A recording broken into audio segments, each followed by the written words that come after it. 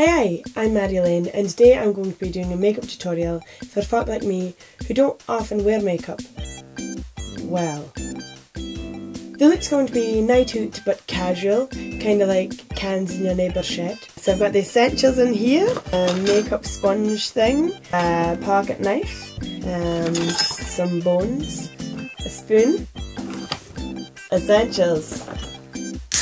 I'm just uh, putting this on um, I've never ever contoured.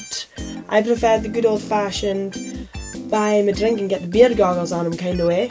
Uh, seems expensive, but it's a lot quicker than drawing a fist on your fist. You already have one. Next is the brows. I just like to draw them on nice and big. Then I uh, start rubbing them off because I want to give the appearance that is natural, like it's not been drawn on my face. So I just rub off any excess eyebrows. Then I get brown hands.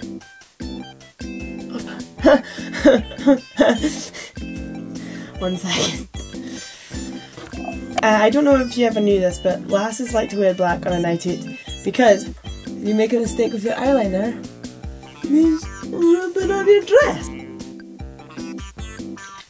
Bobby's gonna be there, so um, we're gonna go bit better than casual. uh, lipstick wise. Final makeup tip is have a pretty party as you're getting ready. Have a drink or two, and then when you go out, you know you're gonna look amazing.